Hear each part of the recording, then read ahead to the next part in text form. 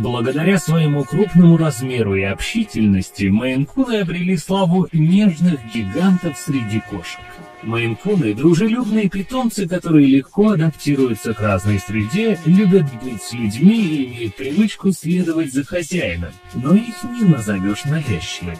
Они сохранили навыки мышеловов, игривы, ласковы, умны и их легко обучать. Как правило, даже во взрослом состоянии они любят играть как котята. Как вы уже догадались, сегодня поговорим о породе кошек Мейн-кун. Некоторые люди путают мейн-кунов с рысью из-за их больших размеров.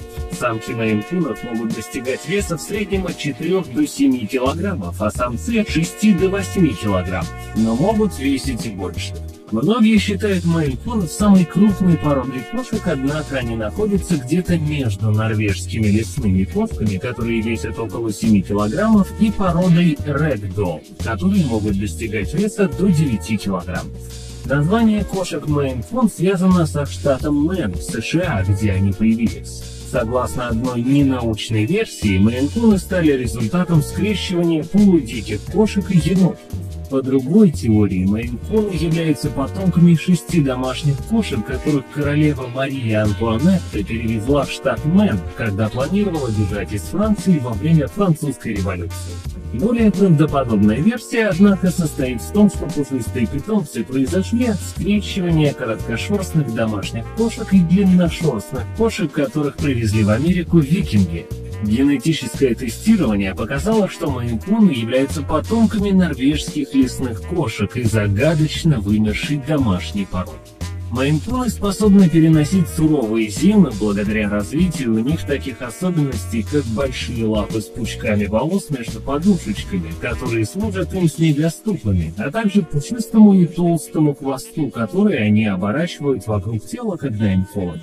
Коронной чертой мейнкунов является густая, отталкивающая воду шерсть, которая длиннее в области живота, воротника и боков. Эти участки помогают мейнкунам сохранять тепло, когда они сидят или идут по снегу или льду. На плечах у них более короткая шерсть, что позволяет им проходить по лесу, не цепляясь за ветки и кусты.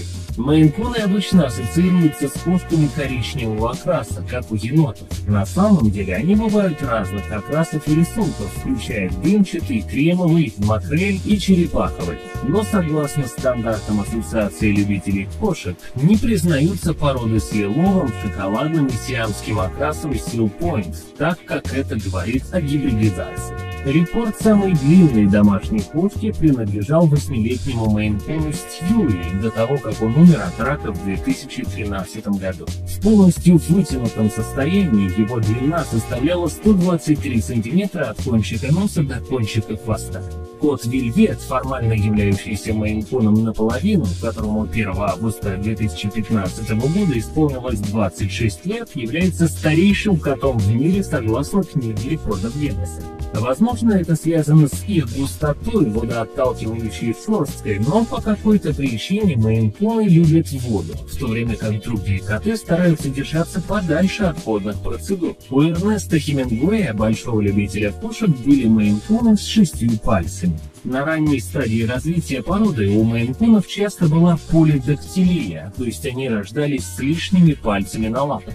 Некоторые эксперты подсчитали, что у примерно 40% первых мейнкунов была эта особенность. Она появилась благодаря генетической мутации, которая помогла этим кошкам использовать свои лапы в качестве снегоходов во время заснеженных зим. Но благодаря развитию ассоциации кошатников, которые дисквалифицировали кошек с полидактилией от участия в выставках, эту характеристику стали считать нежелательной, и количество мейнкунов с шестью пальцами постепенно уменьшилось. Цена котят породы мейнкун, как правило, составляет от 30 до 80 тысяч рублей, или от 800 долларов или евро. Котят лучше всего покупать в питомниках, где занимаются именно этой породой.